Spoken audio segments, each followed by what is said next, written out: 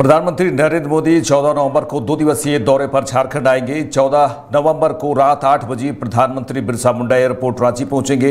Airport से लेकर राजभवन तक वे रोड शो करेंगे। इस दौरान बिरसा मुंडा चौक पर भगवान बिरसा मुंडा की प्रतिमा पर माल्यार्पण भी करेंगे। राजभवन में प्रधानमंत्री रात्रि विश्राम करेंगे। 15 नवंबर को झारखंड स्थापना दिवस पर प्रधानमंत्री भगवान बिरसा मुंडा की जन्मस्थली उली हाथू जाएँगे। जनजातीय गौरव दिवस पर वह भगवान बिरसा मुंडा को नमन करेंगे और उनके वंशजों से मिलेंगे। इसके बाद प्रधानमंत्री नरेंद्र मोदी खूंटी के बिरसा मुंडा स्टेडियम में एक जनसभा को भी संबोधित करेंगे। आपको बता दें कि प्रधानमंत्री के इस आगमन को लेकर बीजेपी कार्यकर्ताओं में गजब का उत्साह है। एक एयरपोर्ट जोन है।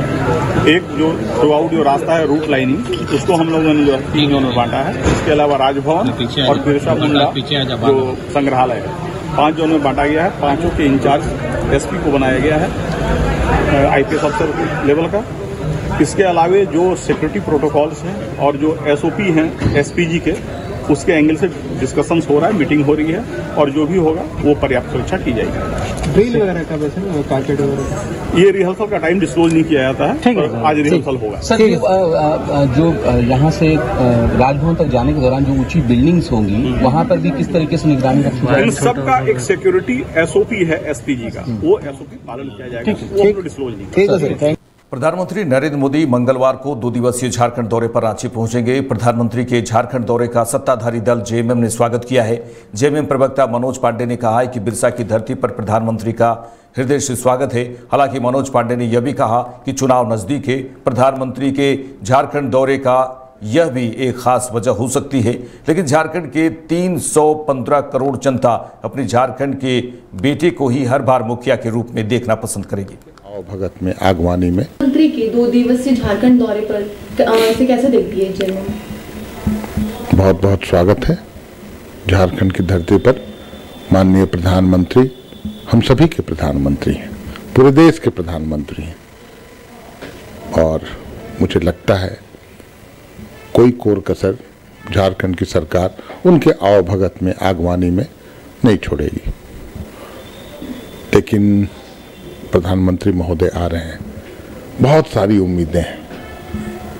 जो झारखंड के, झारखंडी विषय लंबित हैं, उन पर कोई निर्णय प्रधानमंत्री महोदय को लेना चाहिए। झारखंड की धरती पर वीर बिरसा मुंडा, भगवान बिरसा मुंडा की धरती, सिद्धू कानू की धरती, शिबू सोरेन की धरती पर आकर कम से कम झारखंडी जनमानस खास करके आदिवासी समुदाय, जो सरना धर्मकोट की मांग करता है, कई एक सदियों से मांग होती आ रही है। उस मांग को अविलंब पूरा करे, ऐसा ऐसा हम लोगों का मानना है। और जो पिछड़ों के आरक्षण की बात है, विधेयक पास करके राज्य की सरकार ने भेजा है केंद्र के पास, उस विषय को भी लंबित रखा गया है। उस विषय पर को भी स्वीकृति मिले। साथ ही जो एक लाख अड़तीस हज़ार करोड़ रुपए बकाए हैं, झारखंड जैसे गरीब राज्य के, आज वो पैसे मिल जाएँ और वो हमारे हक के पैसे हैं। कोई खैरात या भीख हम लोग नहीं मांग रहे हैं। वो पैसे देने की घोषणा कर दें झारखंड की धरती पर आकर। तो झारखंड के विकास के